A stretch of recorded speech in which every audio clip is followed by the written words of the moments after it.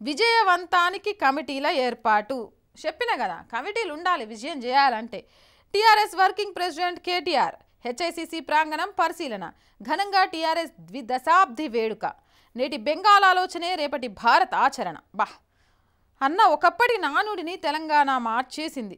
రైతు బంధు పథకం దేశవ్యాప్తంగా అమలు చేయాల్సిన అనివార్యత సృష్టించింది. అమ్మా వద్దులేక నేను ఇంతకంటే చదవలేను పారిశ్రామిక పాలసీని తెలంగాణ తెస్తే కేంద్రం. అవును పారిశ్రామిక పాలసీ నిన్ననో మొన్ననో నేను చదివిన కదా పదమూడు వేల కంపెనీలు మూసేయించినాం. దీన్నే ఆదర్శంగా తీసుకోవాలి. రైతు బంధు అనే ఒక్కదాన్ని పది ఏళ్ళు చూయించి భూమి ఉన్నోడికి ఆ డబ్బులు వేసుకుంటూ భూమిని నమ్మినోడికి కనీసం పంట నష్టం ఇవ్వకుండా పంటకు మద్దతు ధర ఇవ్వకుండా ప్రాణాలు తీసుకునేలాగా చేస్తున్నామే. దీన్నే ఆదర్శంగా తీసుకోవాలి. వరేస్తే ఉరి పెట్టుకోండి మునిగిపోయే పత్తినే వేయండి. పత్తికి సంబంధించి రేపు ఏదైనా ప్రాబ్లం వస్తే అది కూడా కాటన్ పరిశ్రమ మీద సెంటర్ల మీద తోసేసి హాయిగా దుప్పటేసుకొని కూర్చోవచ్చనే మీ ఆలోచన చూసి కేంద్రం నేర్చుకోవాలి.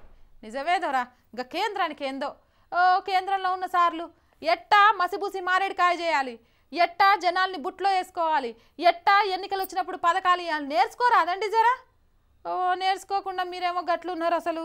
నేర్చుకుంటే ఇగో గిట్లుంటారు. తెలంగాణ బిడ్డ గిప్పుడబ్బా సంతోషపడి గర్వపడతాడు. మరి గా ఉద్యమం టైంలో లాఠీ దెబ్బతిన్నోళ్ళ పరిస్థితి ఏందో? ఇంక అప్పుడు గుర్తు రాలేదు తెలంగాణ. ఇప్పుడు మాత్రం మస్తు అన్నకు మస్తు గర్వంగా ఉంటుంది. చూడు. బాబా ఎంత ముచ్చటగా నవ్వుకుంటూ ఎంత మంచిగా పక్కన వేసుకొని పోతాండ్రో. ఇందులో సగం మంది ఆ ఉద్యమం టైంలో లేనోళ్ళే. వీళ్ళందరూ ఇప్పుడు తెలంగాణ బిడ్డలు అయిపోయినారు. మరి అసలు తెలంగాణ బిడ్డలు ఎవరో? ఇక ఈ తెలంగాణ బిడ్డల పరిస్థితి ఏందో ఎవ్వరికి ఏం అర్థం కావట్లే.